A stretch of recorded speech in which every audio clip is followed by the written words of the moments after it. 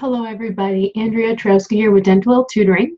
So let's talk about why you should not become a dental assistant. So I have been in the dental profession now for about 13 years, and I was a dental assistant first. So I know what it's all about.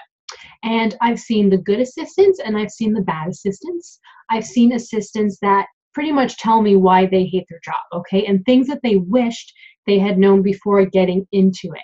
Now, it's a good idea to think about these things before you start your program because then obviously you spend the money. And if you realize it's not something that you want to do, I mean, things happen, but you are out all of that money. So let's talk about what qualities you may have that would not make you right for the dental assisting position. Okay, so number one is if you're not a team player, and that can be hard to admit by some people. But think about it. Do you prefer to do things on your own? Um, do you get annoyed when people ask you for help? Or do you get annoyed when you have to do something for somebody else? Then dental assisting isn't for you because that's what a dental assistant is. You help out around the office. You're the one where the dentist comes to, or the dental hygienist comes to, or the um, receptionist comes to if they have a question, if they need something, because you are the one that has to know a little bit about everything. They will come to you if they're 20 minutes late with a, with a patient and they need help. They will expect you to clean up a room, set up a room, whatever it takes, and handle that patient the best you can. It could mean um, calling them back to have them sit down, updating their medical history, um, getting started with a polish or x rays or whatever it may be. So you're the one that people go to for help. So if that annoys you, then dental assisting is not for you. Okay. Um, I hear a lot of dental assistants that don't like their job say things like that. They will say, I get annoyed when people come to me for everything where do I go if I need help? Well, you're pretty much the only one, okay? If there's other dental assistants on your team, then yes, you can go to them for help, but it's a dental assistant where people go to for help. But that's also an amazing thing too. So you can always feel like, oh wow, so I just help out everybody. You know, people will say thank you to you all day long because you are helping them stay on time. You are helping them clean up, set up, sterilize the instruments, helping them with everything. And you know a little bit about everything, which is nice. But some other reasons why you might not want to be a dental assistant or why you shouldn't be a dental assistant if you have these qualities. So, to go to school to be a dental assistant is typically a year, depending on where you live.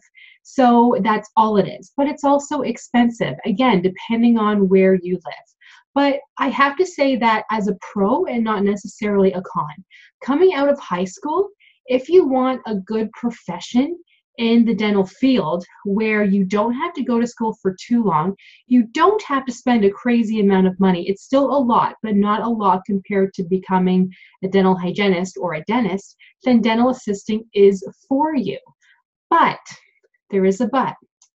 A lot of people don't stay assistants because you don't make as much money as the other people in the dental profession. Okay, so if you're the type of person where that might annoy you, where you will always know that you're making less than anybody else, if that annoys you, then this isn't something for you. Now, and I'm not even saying that as a bad thing.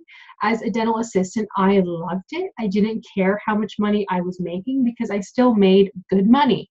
I was 19 out of high school, I made great money. But some people get annoyed when they see other people on their team making a lot more. Where the dental assistant still has to do a ton of stuff, you guys. We really, really do. As a dental assistant, you will be doing, as I said earlier, everything. But if you're looking to get paid more, then you want to think about either becoming a dental hygienist or a dentist. Now, that may annoy a lot of people for me to say that, but it's true. I'm being honest. I am being totally honest. And I can say that because I was a dental assistant. I made great money as a 19 year old, but now I like making the money that I make. You know, let's just put it that way. Um, you still make good money. As a dental assistant, you make a lot more than you used to. I remember starting off at $13 per hour, whereas now I'm not a dental assistant now, so I can't say for sure, but you would make at least $18 per hour, if not more. But there's only so much you can make. So that's another thing. As a dental assistant, even if you've been working for 20, 30 years, the most that an office will probably pay you is $25 per hour. Again, depending on where you live. It could be more, it could be less. I know um, in my city where I live, the most you can get paid as an assistant is $25 per per hour. They just simply won't pay you more than that. Okay, it's just how it is. So if you're looking for something to constantly build upon, then assisting may not be the thing for you because there's only so far that you can go. Okay, so think about it like that. Um, those are kind of the main reasons. I think being a dental assistant is awesome. I really, really do, but it just kind of depends on what you want to do in the dental office. Okay. So I hope that helps. But if you guys have questions, let me know and stay tuned for next time. See you guys later.